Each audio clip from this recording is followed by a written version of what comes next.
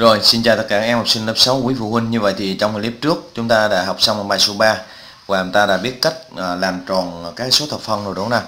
Ta đã biết chữ số thập phân thứ nhất, thứ hai, thứ ba hoặc là chữ số phần 10, phần trăm, phần nghìn, vân vân. Ta biết cách quy tắc làm tròn rồi. Trong clip hôm nay thầy sẽ quay tiếp cho các em bài số 4 đó chính là tỷ số và tỷ số phần trăm em nha. Bài này thì kiến thức nó cũng khá là đơn giản chứ không phải có gì gọi là phức tạp cả các em.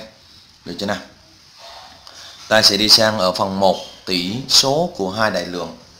Trước khi ờ, đi vào thì thầy nói chỗ này một xíu. Bây giờ này, chúng ta được học về tỷ số đó. Từ tỷ số như là nó thay bằng phép chia đấy các em. Như là a chia b. A chia b thì nó gọi là tỷ số của a và b. Thì cái a chia b, cái dấu chấm này, phép chia này, nó được thay bằng là a phần b. Cái này được gọi là tỷ số của a và b. Được chưa nào? Còn tỷ số phần trăm. Cái phần trăm đơn vị ký hiệu là như thế này và cái này nó sẽ bằng là 1 phần 100 như vậy để tính được tỷ số phần trăm của A phần A và B thì các em lấy A à, A nhân cho bao nhiêu em? Ừ? ta lấy A nhân bao nhiêu? À, nhân cho 1 100 và các em chia cho B. Đấy. ok. Được chưa? Để ra được đơn vị đây sẽ là phần trăm các em nhé. Đó cái bài này nội dung chỉ như vậy thôi. Kiến thức chính đó ta cần phải nắm là như thế. Rồi bây giờ chúng ta sẽ đi sang hoạt động 1 thấy rõ nè rất rõ phải không? Rồi, chúng ta sẽ, để xem này rồi. Để thầy canh nó chuẩn trên màn hình, rồi chúng ta xem cho nó dễ ha. Hoạt động 1 câu A này. Mai và Lan thi nhau giải cùng một bài toán. Mai làm xong trong 45 phút. Lan làm xong 30 phút. Nha. Chứng tỏ là ai làm nhanh hơn? Chứng tỏ là bạn Lan này làm nhanh hơn, tại vì làm có 30 phút rồi. Còn bạn Mai thì làm tới 45 phút. Hỏi thời gian Mai làm lâu. Này, Mai làm lâu gấp bao nhiêu lần so với thời gian của Lan làm? Đó nè. Như vậy thì cái thời gian, cái thời gian ở đây người ta nói là Mai so với so với Lan, mà Mai là 45 phút, so với Lan là 30 phút. Như vậy thì kem ghi thầy là cái thời gian. Không? Mai làm lâu uh, gấp số lần thời gian của Lan là hết một cái sao? Viết ít ra nè thiệt. Biết ngay hết mực. Chờ lần xíu lấy cái bút này được chưa nào? Như vậy thì ờ, của của Mai làm là bao nhiêu? 45 đúng không? Ta lấy sẽ lấy 45 45 kem chia cho bao nhiêu? Chia cho 30 hay nói cách khác cái này là 45 phần. 30 kem chia cả tử và mẫu cho bao nhiêu nè? Chia cả tử và mẫu cho 15 thì cái này chỉ là 3 phần 25 à, làm lâu các em. Được chưa? Rồi tiếp tục. Câu ờ, B. Trí và Dũng mỗi em câu được một con cá lóc.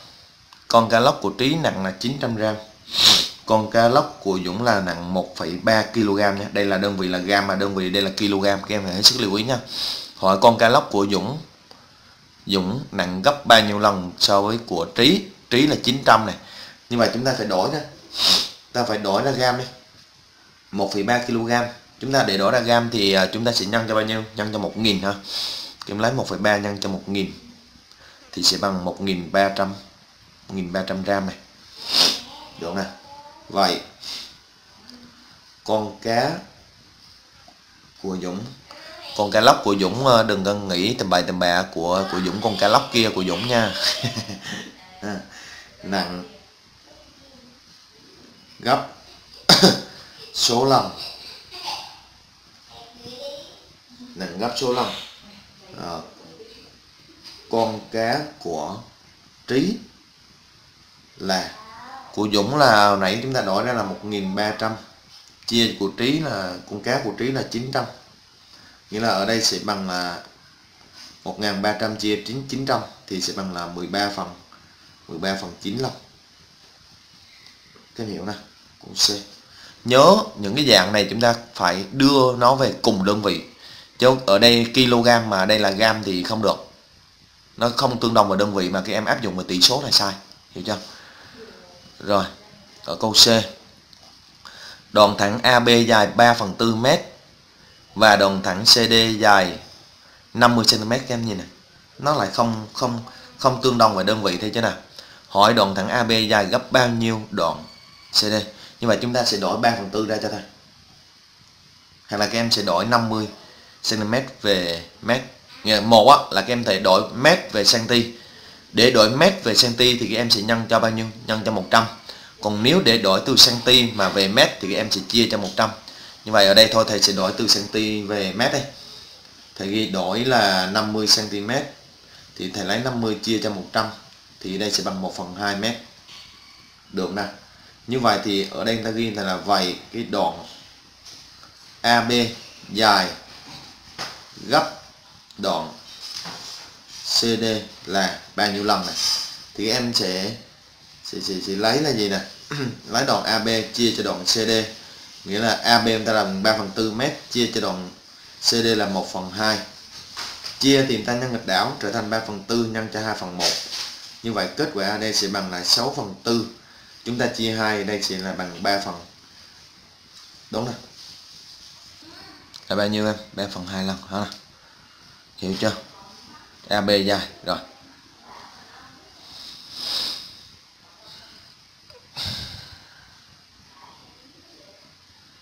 Ok, chúng ta sẽ đi sang phần tiếp theo. Ghi thầy phần này không? Ta gọi thương trong phép chia số A cho số B là tỷ số của A và B. Tỷ số A và B được ký hiệu là A chia B cũng như là A phần B.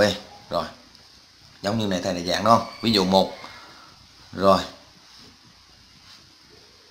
Ok, này 3 phần tư này 3 phần tư chia cho 1 phần 2 thì cái phép chia này này. Cái chia này tương ứng với cái dấu dấu phần này này. Đấy, mà như mình học là chia thì nhân nghịch đảo làm ra luôn. Đó em lấy 3 phần tư chia cho 1 phần 2 thì ra thôi. Kết quả ở đây là 3 phần 2 ha 3 phần 2 ok. Chúng ta ghi dùm thầy ờ, ở phần chú ý đây này ba chú ý này không được chưa? Ví dụ 2 trong hoạt động 1 này Đấy, cái này đó chính là cái việc giải của người ta này. Giải này. Giải của cái hoạt động một cho các em đó. Thấy chưa? Nhìn vô đây là biết đúng hay sai ngay đâu. Bây giờ chúng ta sẽ đi sang cái phần thực hành một. Nha.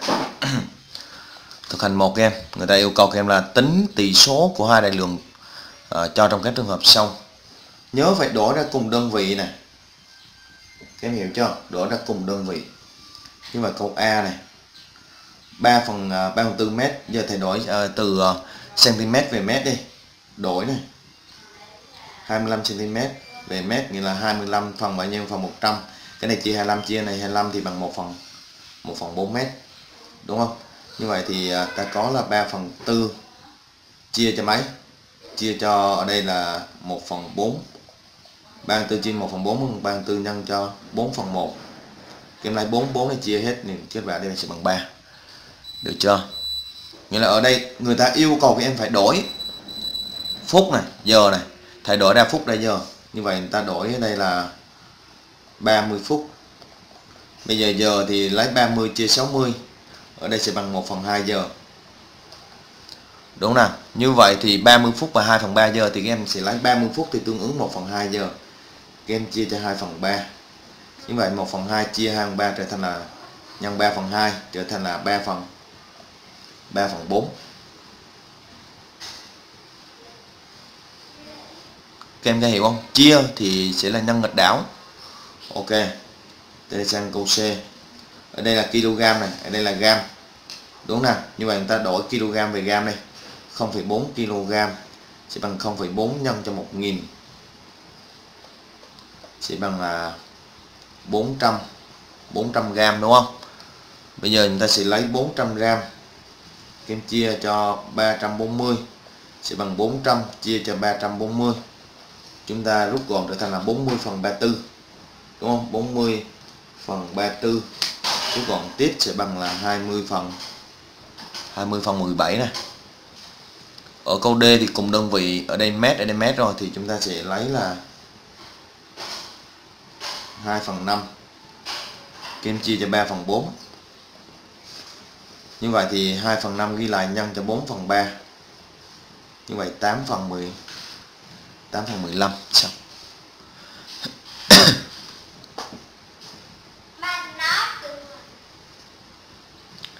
Các em hiểu chưa nào?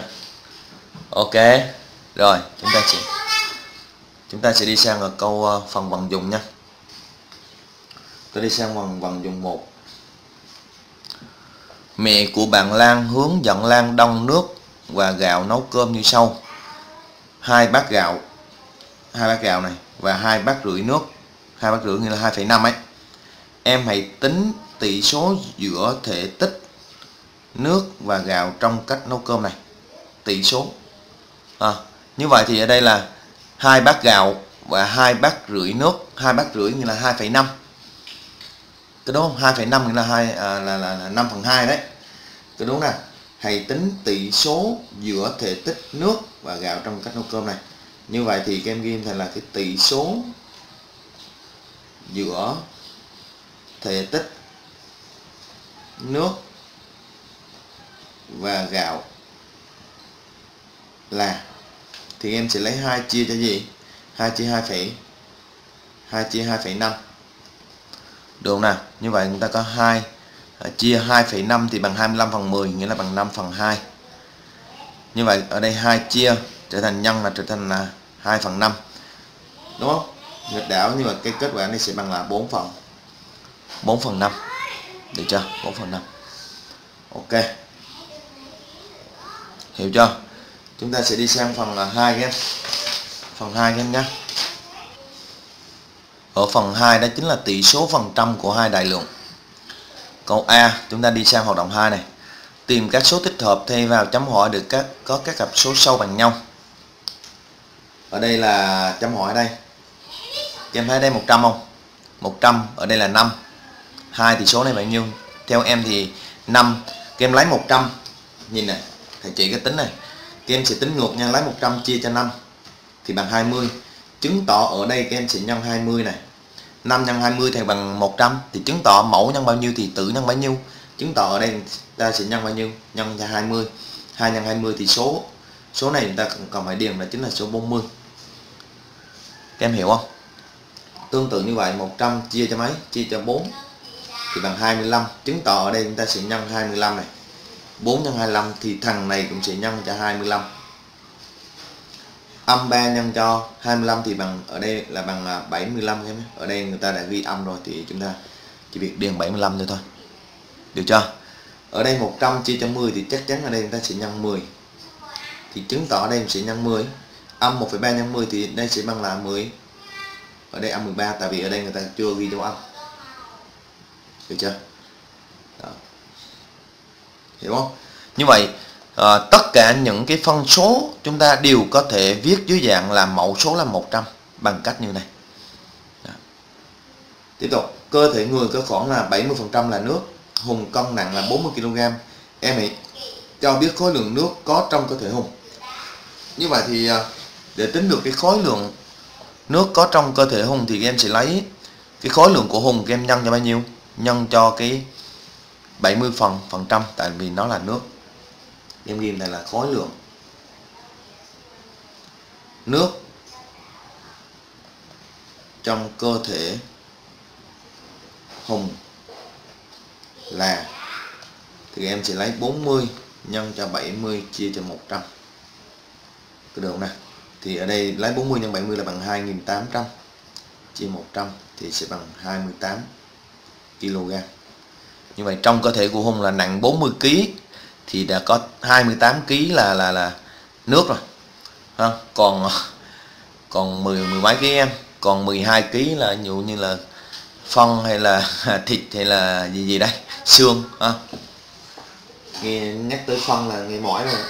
Rồi, ok. Chúng ta sẽ đi sang phần tiếp theo nha.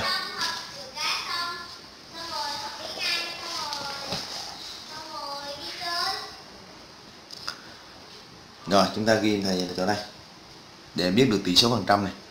Đây này, ta nhân a với 100 là chia cho b này. Không? ký hiệu phần trăm này. Thấy chưa nào? Ví dụ 3 tính tỷ số phần trăm của hai số để cho trong mỗi trường hợp sau. Tỷ số phần trăm. 1 và 4 nghĩa là các em sẽ lấy 1 nhân cho mấy? 1 chia 4 nhân cho 100 đi. Ví dụ thế. Và đơn vị ở đây là phần trăm này. Ký hiệu này nha. Đây đây đây đây. Có phần trăm đây nha. Cái phần trăm, cái phần trăm này để chỉ là 1 phần 100 á được chưa nào? Và cách trình bày là như thế này. Nhớ nha. Em lấy 1 1 phần 4 bằng 1 nhân cho 100 chia 4 mở ngoặc, đóng mở ngoặc. Ở đây có phần trăm này. Hiểu chưa nào? Rồi. Như vậy, theo cách trình bày đó thì chúng ta cũng sẽ làm ở cái phần thực hành 2 thực hành 2 3 phần 4 đúng không? Nghĩa là 3 phần à, 3 và 4 thì em lấy 3 à, 3 phần 4 tại vì cách trình bày á y xì như vậy cái mở ngoặc ra lấy 3 nhân cho 100 chia cho mấy? Chia cho 4 và đơn vị đây sẽ là ngay chỗ đây chúng ta mở ngoặc ra là phần trăm ở đây. Được không nào?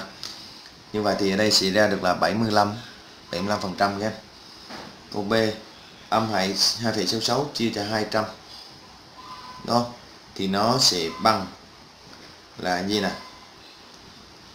âm 2,66 nhân cho 100 chia cho 200 ở đây đơn vị là phần trăm. Thì kết quả ở đây sẽ bằng là âm 1,33 phần trăm. Chúng ta đi sang câu C các em nhé. Các em sẽ lấy ờ, 1 phần 4 chia đây cho 0,5 thì ở đây sẽ bằng là 1 phần 4 nhân cho 100 chia đi 0,5 đây, phần trăm. Đúng chưa nào? Và kết quả đây sẽ bằng là 50 phần trăm các em nhé. Rồi. Vậy thôi. Được chưa? Chúng ta sẽ đi sang ở cái phần à, vận dụng. Vận dụng hai em. Sau vận dụng này là phần bài tập các em nhé. Vận dụng 2 một cửa hàng có doanh thu tháng 4 là 400 triệu đồng. Doanh thu tháng 5 là 500 triệu đồng tính tỷ số phần trăm của doanh thu tháng 5 so với tháng 4 tháng 5 so với tháng 4 ví dụ như trong đề bài này người ta hỏi là tính tỷ số phần trăm của doanh thu tháng 4 so với tháng 5 thì em sẽ lấy 400 nhân cho 100 và chia cho 500 nhưng ở đây người ta nói là tỷ, tính tỷ số tỷ số à, phần trăm đó nè của doanh thu đọc phải đọc kỹ đề em nhá. Tháng 5 so với tháng 4 là, thì tháng 5 của chúng ta là bao nhiêu? 500 chia ra cho 400 sẽ bằng là gì? 500 nhân cho bao nhiêu? Nhân cho 100 chia cho 400 có đúng không? Ở đây là gì? Đơn vị, đây là phần trăm. Đúng chưa? Như vậy các em lấy 500 chia cho, nhân cho 100 bằng chia cho 400 như vậy thì nó sẽ ra được là 125 phần trăm. Đó. Kiếm hiểu chưa nào? Ok. Còn ví dụ như trong đề bài này, giáo viên thay đổi lại. Em hãy tính tỷ số phần trăm của doanh thu tháng 4 tháng 4 so với tháng 5 thì các em sẽ sẽ bấm, dùng máy tính em bấm là gì? Các em lấy 400 các em lấy 400 nhân cho 100 bằng và chia cho 500 như vậy nó sẽ ra được là 80 phần trăm. Nhưng mà tính tháng 5 sau tháng 4 nó sẽ là 125 phần trăm. Được chưa nào? Đấy ok. Ờ, tùy theo đề bài mà chúng ta phải đọc thật kỹ đề để chúng ta làm chính xác cái đề bài người ta yêu cầu của em nhá như vậy thì trong ờ, cái phần bài tập đây nha.